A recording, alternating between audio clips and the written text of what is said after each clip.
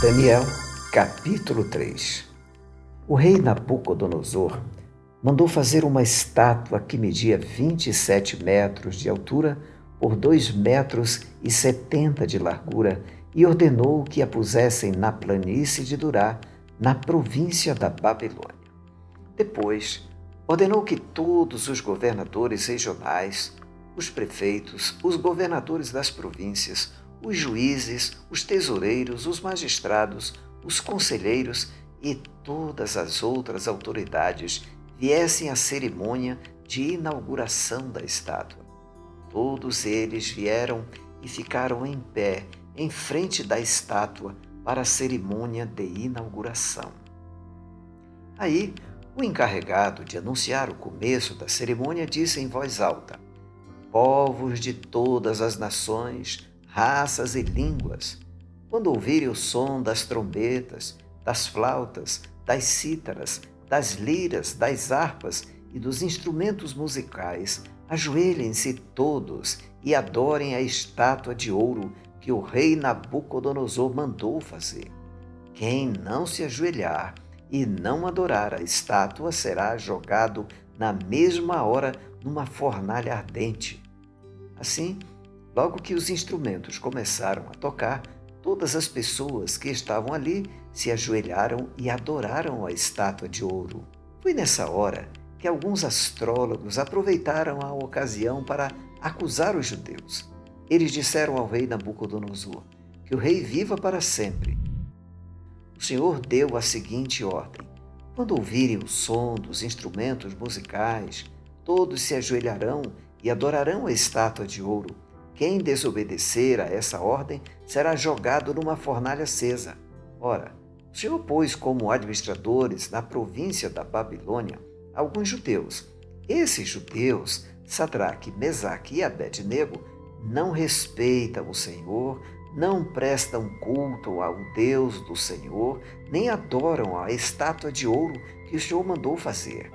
Ao ouvir isso, Nabucodonosor ficou furioso e mandou chamar Sadraque, Mesaque e Abednego. Eles foram levados para o lugar onde o rei estava. E ele lhes disse: É verdade que vocês não prestam culto ao meu Deus, nem adoram a estátua de ouro que eu mandei fazer?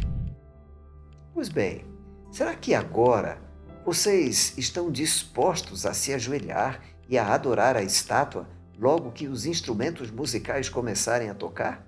Se não, vocês serão jogados na mesma hora numa fornalha acesa.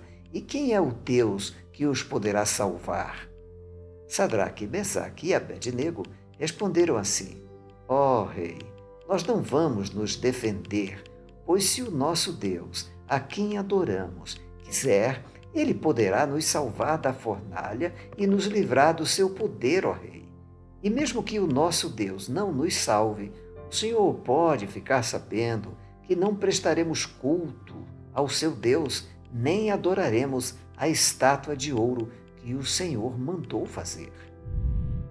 Ao ouvir isso, Nabucodonosor ficou furioso com os teus jovens e vermelho de raiva.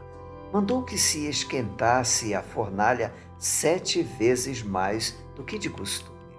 Depois mandou que os seus soldados mais fortes amarrassem Sadraque, Mesaque e Abednego e os jogassem na fornalha. Os três jovens, completamente vestidos com os seus mantos, capas, chapéus e todas as outras roupas, foram amarrados e jogados na fornalha. A ordem do rei tinha sido cumprida. A fornalha estava mais quente do que nunca, por isso as labaredas mataram os soldados que jogaram os três jovens lá dentro. E amarrados, Sadraque, Mesaque e Abednego caíram na fornalha.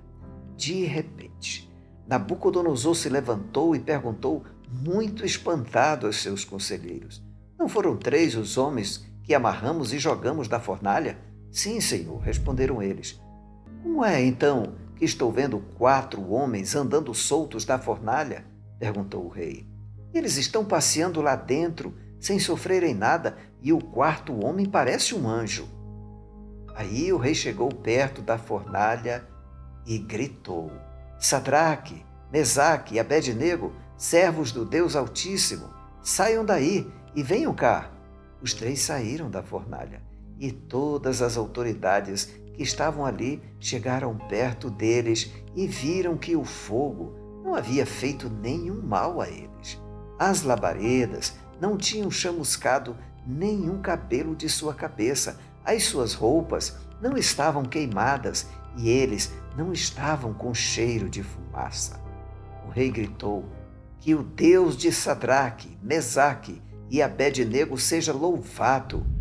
Ele enviou o seu anjo e salvou os seus servos que confiam nele. Eles não cumpriram a minha ordem, pelo contrário, escolheram morrer em vez de se ajoelhar e adorar um Deus que não era o deles. Por isso ordeno que qualquer pessoa, seja qual for a sua raça, nação ou língua, que insultar o nome do Deus de Sadraque, Mesaque e Abednego, seja cortada em pedaços e que a sua casa seja completamente arrasada, pois não há outro Deus que possa salvar como este. Então o rei Nabucodonosor colocou os três jovens em cargos ainda mais importantes na província da Babilônia.